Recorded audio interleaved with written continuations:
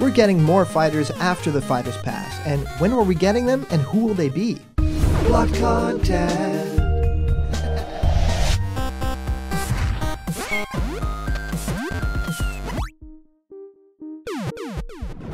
What's happening, my Block buddies, and welcome to a brand new episode of Blocked Content's Leak Speak. My name is Callum, and this is going to be your content for today. Very famously, Sakurai has announced that next to the characters that we already have in Smash Brothers, we are going to get more. That is incredible, and that basically talks about the fact that Sakurai is the biggest crowd pleaser in the history of modern media, right? He is really doing everything that he can, even putting his own health on the line to bring us all this content, which is amazing, and we should never take it for granted. So now that we know that we are getting Joker and the hero and Banjo and Terry Bogard, there's one more fighter in that fighter's pass that we've all, of course, paid for, that we all know that we're going to get. It's very interesting to actually put money out on something that you don't know what the content will be. It could be something that you don't like at all. But I think that that's the charm of Smash Brothers, and of course, that is what's going to live on right now because there is more content coming. Sakurai has announced this in that latest Nintendo Direct, where he's talking about, yeah, there's more fighters coming, and we don't know how many they are, we don't know who they are, or what the theme is going to be, but I think we've got some ideas. And today I wanted to talk about it with you guys. And for those of you guys who like giveaways, we are giving away a Piranha Plant plushie at 50k and this beautiful What's Happening My Block Buddies t-shirt at 40k. So remember to like this video, really helps out the channel, and subscribe to Block Content. Comment down below to enter for this giveaway and why you think you should have one of these beautiful items. All right, guys, let's head right on into this. So the Fighters Pass, right? A really interesting array of characters, stages, and music together. But in terms of new fighters, what will the form be that that takes? Will it be additional fighters pass? Will it be just another fighters pass that you'll put down the exact same money for and it'll also be five fighters with five stages and a lot of music? Or will it be something different? Well, I wanted to talk about the theory that this could actually be something incredibly different. Maybe we're not getting five another characters because that's definitely the first thing you would be thinking. Oh, we're getting another fighters pass, right? That's the model that's worked really well for Nintendo. That's made them a lot of money because essentially you would have bought two games for the price of you know two games, which is really interesting um, as a business tactic because Nintendo really usually doesn't do that crazy of stuff. But now with Smash Brothers and it being relatively easy to add fighters instead of making a new game with a whole lot of fighters, that is very interesting as a thing. But also thinking about the fact that if it's not this fighters pass with five other characters, what would be the through line? I don't think that it will be one character, and I don't think that it will be two characters. So I think the most likely here is that we're going to get three more fighters after it. Because I think if we're going to get more additional fighters, he's al- already talking plural. I don't think two will be that through line because I think that that would, you know, not make a lot of people very happy if they are saying more fighters are in development. And it ended up only being two. Of course, we'd be very, very lucky to just have two. But I think three would be perfect, right? Three would feel like the roster is not too bloated, not too crazy, and would also be very interesting to talk about. So maybe that Fighter's Pass would cost a little bit less money than the one with five characters, and then we'd have some content and maybe even some stages. But what if we are getting characters that are not getting stages and not even getting music? That to me is very interesting. So the fact that characters will be a little bit on the cheaper side, just like Super Smash Bros. for Wii U and 3DS. So think about this fact. Maybe the fighters that we are going to be getting in Smash Bros. Ultimate, aside from the Fighters Pass, will be first party. Will be characters that are either echoes or very close to other characters. So think about the, you know, the Dixie Kong kind of characters, or maybe even Funky Kong. So characters that are very close in, you know, physical form to other characters that we have that are definitely first party characters, but that are not, you know, these incredible new third party picks and that could be easily added to the game with a lot of unique animations, but things that are also pretty much, you know, in a sort of wireframe, sort of set in stone already.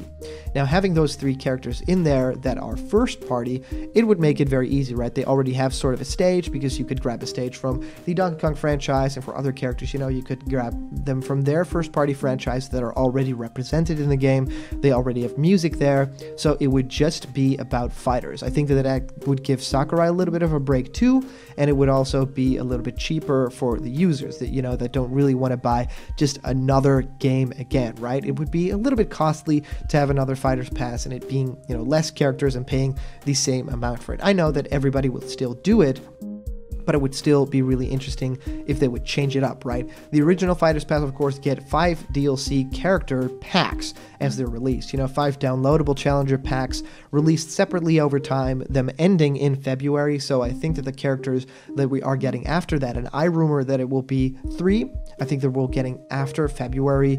So I think they'll go throughout the rest of 2020. I think that they want to you know, definitely close the year and do E3 and all that kind of stuff with Smash Brothers reveals because they really bring up Nintendo stock very nicely. Uh, they get people talking. So I think that, you know, as far as special weapons go, I think that we've got Breath of the Wild 2 to bank on, but also, of course, Super Smash Bros. Ultimate is doing a really crazy job of getting people hyped every single direction, every single big you know, event, even if it's just the Game Awards and the new Game Awards of this year in December are already underway. They're already working on that. And so I definitely think that we're going to find out who another fighter is. We're going to find out before then who that final character is in this Fighter's Pass that comes after Terry.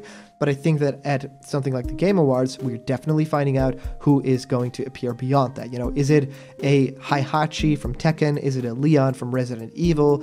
Other characters maybe like Geno that make a little bit more sense. Of course, you guys know from our theory that we've talked about with Papagenos, with Lax Chris, that this has all been, you know, pretty much in people's minds that we are going to get more fighters in the game. And I even thought that it wouldn't be possible just because they have to be working on the next Smash game right about now. But no, we are getting more fighters, and I think Smash Bros. Ultimate will have a lot longer shelf life. Now, in terms of what the characters will be, right? We are going to get more fighters next to the Fighters Pass, so they pretty much have to be in a different genre, in a different kind of field than an IT. I definitely believe that fact. So I think that the very most obvious thing is that we're gonna get first party characters. Now, of course, I don't think that this will be, you know, some crazy stuff like Goomba and Koopa Troopas and Cheep Cheeps and Pink Gold Peaches, but I definitely do think that they will be represented already in the game. So franchises like Kirby, franchises like Kid Icarus, like Super Mario, maybe even Fire Emblem won't make a lot of people very happy, but I think that that's super possible. I think that, you know, taking characters that we already kind of love and, you know, the franchises and getting some new love into there, I think would make a lot of sense for Smash Brothers. I think also if Nintendo wanted to include more fighters in the game, they would really say, well, okay, now we have all those crazy third party characters, some even from rival companies. Now let's bring in some love from, you know, the actual Nintendo that we are because we definitely deserve to have some of our own characters represented too. Of course, they won't be huge hitters. I feel I think that these will be characters more in line of a Piranha Plant kind of choice. So, do I think Geno is possible for there? Yes, I actually think that Geno is the perfect kind of bonus additional character that could be in that Fighter's Pass. I think that he crosses that line of being, you know, sort of third party, sort of first party, and also a character that a lot of people have asked for, but not a character that a lot of people know, right? The Smash Brothers audience really knows that character, but generally, you know, people would be saying, Geno, who who's this like puppet fighter? Is that from like some sort of RPG? And they'd be right, but it's also from a very Mario RPG, right? So please let me know what you think that the Fighter's Pass will be beyond Terry Bogard and the fighter that we're getting.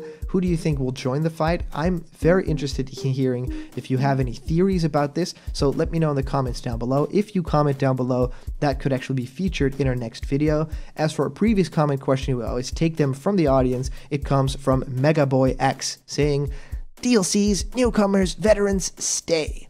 Banjo Kazooie, King K. Rool, Ken, Richter, Hero, Joker, and Terry.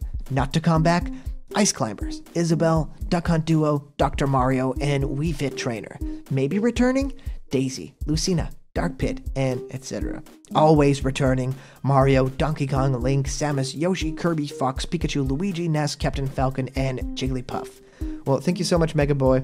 I actually think that you have a really great idea there. Of course, always returning are the original fighters from Smash Bros. 64. I actually think down the line we could maybe do without Jigglypuff, even though that's pretty crazy to say. Um, I think that that character has not been relevant in Pokemon anymore, and all the other characters are pretty much relevant still today.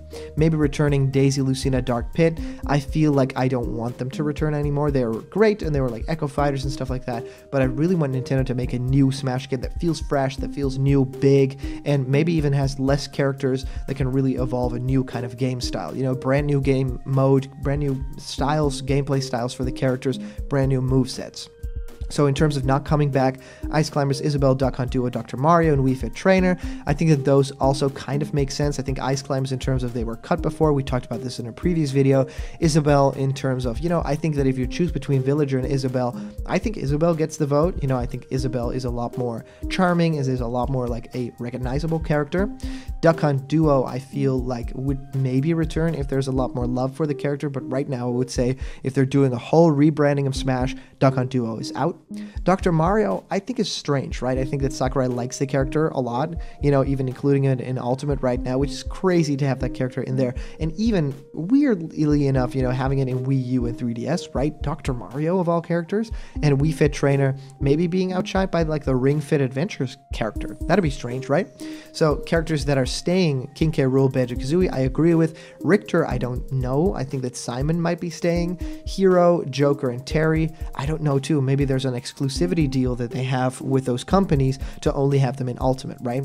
I think for Sonic, they made a really good deal where they're like, well, if the character is in Smash for Wii U and 3DS, he'll also be in Ultimate, right? I think that they have a big plan down the line, and if you get these big characters in, you're going to want to have these really great contracts to make sure that you get them for a longer period of time.